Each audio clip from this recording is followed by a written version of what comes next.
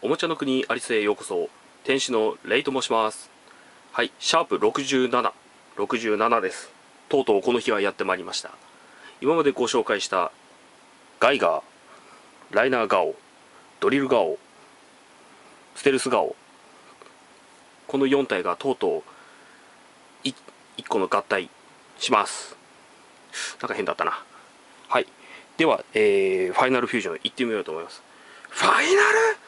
フュージョン！ということではい。今邪魔なんでこういつら避けます。まずはガイガーからいってみましょうか。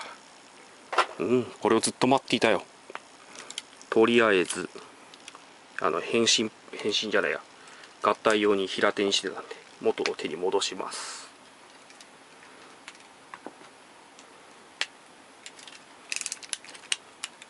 はい戻した。ちょっと待ってね。ちょっとカメラ上気味に。はい。ではまずは背中背中じゃない後ろこちらを起こしてまあちょっと手も開いちゃおうか。邪魔くさいから。リアウィング。こちらを開きます。そして戻してこう前傾アーマーみたいな。こんな感じにします。そして上半身を回し、えー、今まで引っ込めていたこのたてがみを下げると。よいしょ。はい。そして次にまず一旦これをまっすぐにしておくか。こちらのここキュッと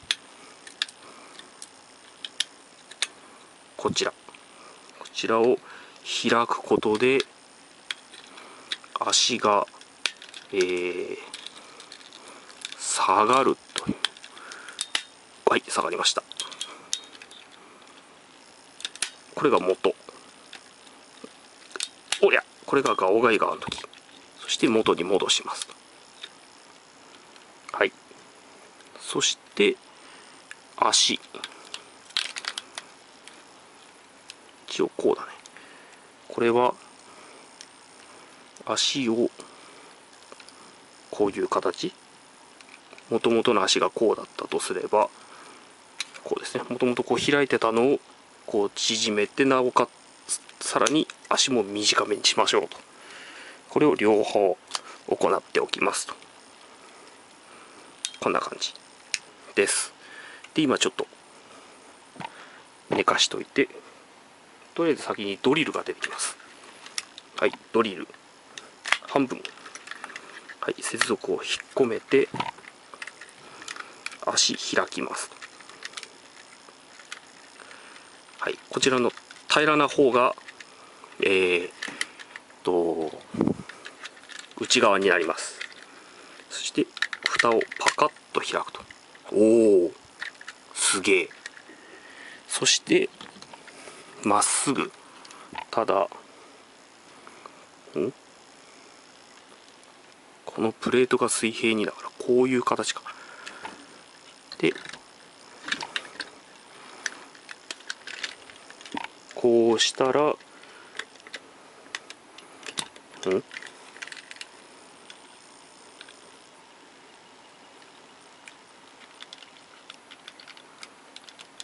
あこういうことかはいすいませんね。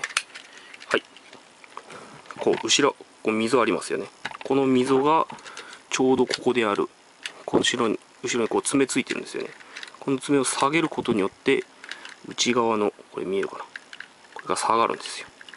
まあ最初のうちバチンと入れてもいいですけど傷つくと嫌なんでスイッチ下げながら入れた方がいいかも。そしたらはまります。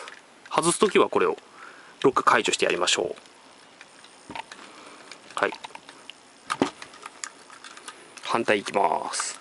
反対もこうやって開いて蓋開けて同じ感じにちょい曲げといてスポッとこれでいいです。もうこの時点ですごいよね。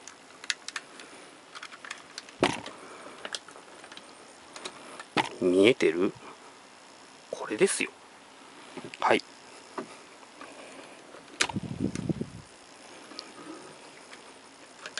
そして腕。こちらを見えてるかな？ここで展開します。と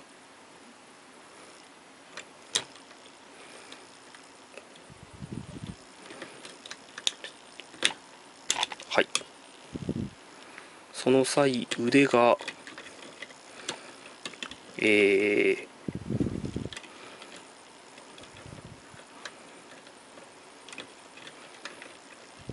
俺パーツ入れ忘れてない？大丈夫か？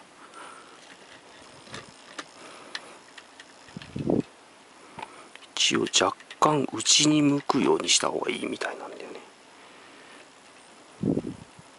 まあこれはあの背中にライナーライナーじゃない。ステルスしようときにもうちょい微調整をした方がいいかもしれないですね。そしたらこの状態で頭を持ち上げますと。はい。劇中こんなことになりませんけど。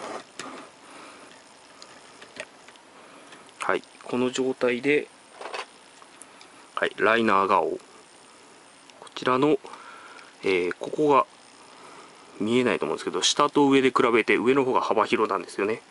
幅広がえー、全幅広がえーとこっちのライオンフェイス側になればいいのかな。そしてこれを入れます入れてはい。聞こえましたかね？劇中通り若干右に行って戻ると。そうするとあのパッチンという音が聞こえたと思いますけどそれによってここが膨らむんですね。これが。わかります？ここご注目。見えないべなもうちょいやってみるか。いきますよ。はい。膨らんでみました。これであ外れちゃうのか。こういう状態になります。この状態でヘッドをロックするとはいこれを外す時には、えー、説明書にも書いてるんですけど頭部を起こしてから抜くと。そうしないと、えー、頭部のこの下の台座ですね。こういう台座があるんですけどここから爪がこう、えー、難しいな。2本こう降りててこれにライナーがこう引っかかってると。だからこれを無理やるとボキッとこう固定用ピンが折れてしまうので、えー、まあご注意という感じですはいそしてこの状態で後ろのガイが腕をちょっと持ち上げて家庭なおいえっ、とこの付属品付属品じゃないや。このサポートパーツというの。取り付けますと。そして元に戻しますと。いや硬い。あ硬い。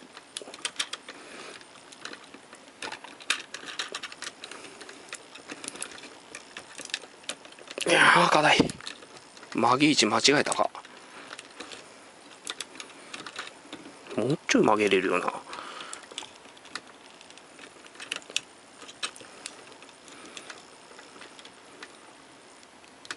硬えなやっぱりまだ。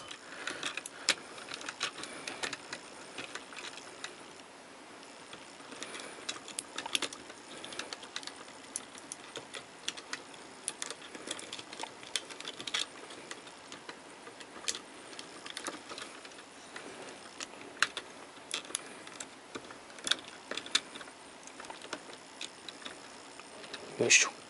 まあこれで勘弁してください。はい。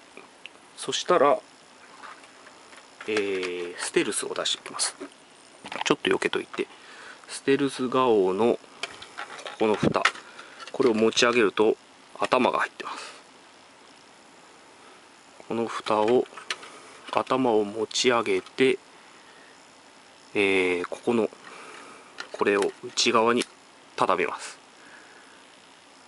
して内側に折りたたんで収納状態にしますと。ヘルメットを収納するときはの書き方。こういうことか。そして不要となるこのシャッターパーツ。これは外しておきましょう。はい。この状態でこれは開いた状態にしてまあこれは後で内側に寄るんでしょうね。今はいいや。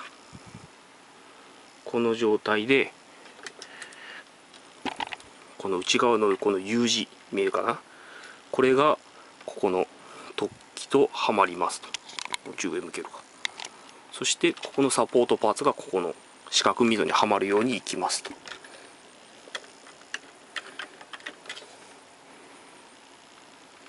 あその前にあれだ。これだ。たてがみパーツ下げなきゃダメだ。アタッチマン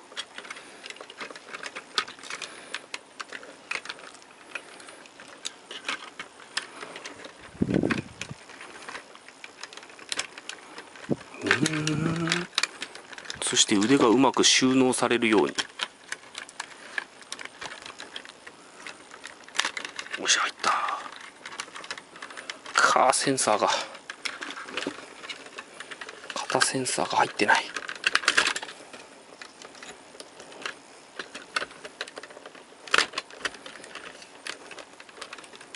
入った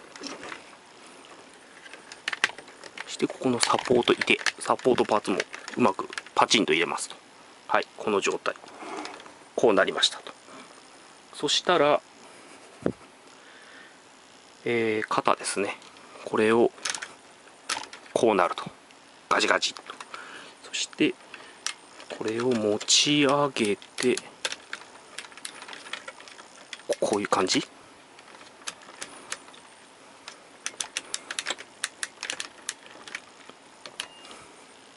こんな感じかな？ずいぶんと折り返り方にしたな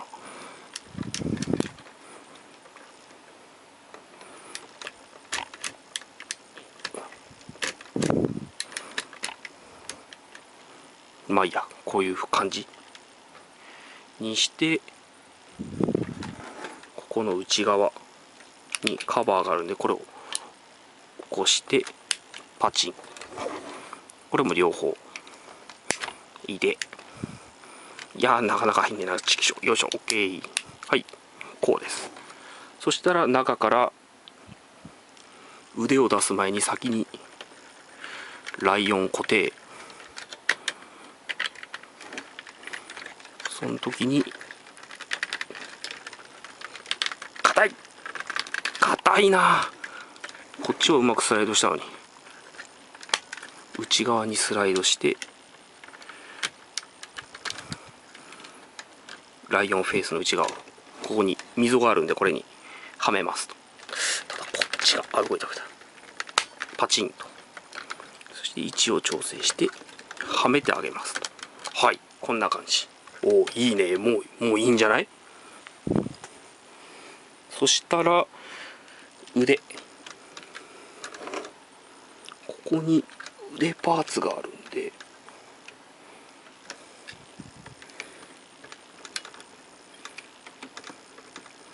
どっか引っかかる場所。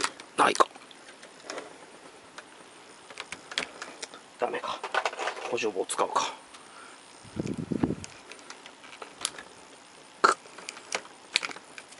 取れねえよ。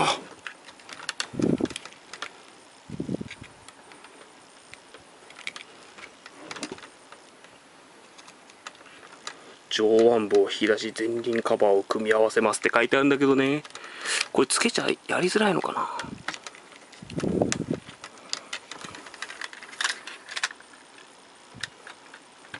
この腕。この腕パーツを。き下げなきゃいけないんですよ。それが今なかなか出てこない。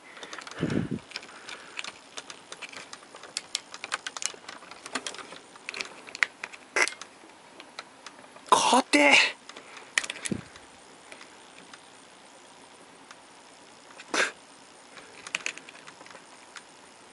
あら全然出てこないおおあ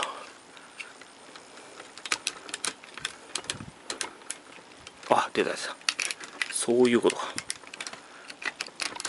よいしょ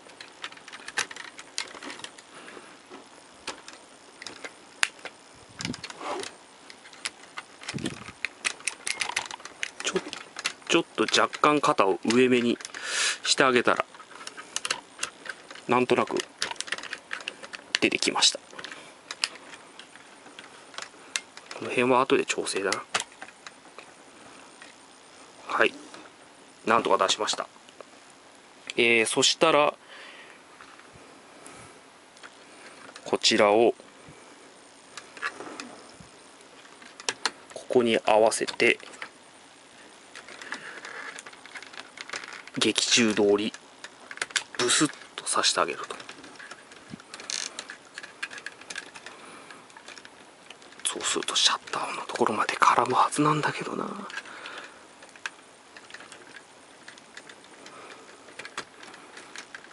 こうからこうなるはずだから。あそっか。こういうことか。はい。完全に完全に私の手で何にも見えなかったと思います。だからこっちはやろうか。はい。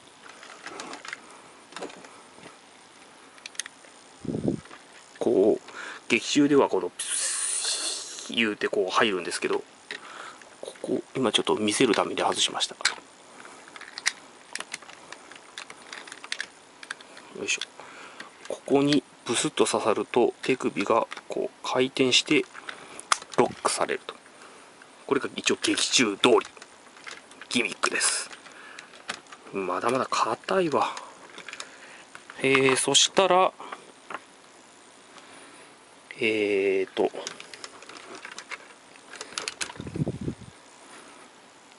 この羽の後ろの蓋を開けて邪魔なこれをしまいますと。して手を元の状態に戻すとこちらも同じく。見えてねってな。蓋を開けて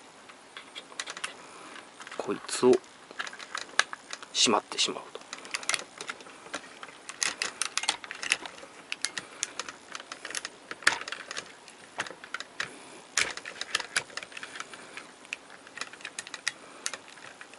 いや硬い。全然硬い。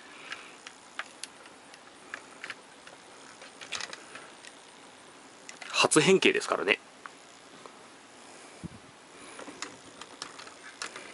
はい。そしたらヘッドパーツを本体ガイガーに、えー、かぶせていきます。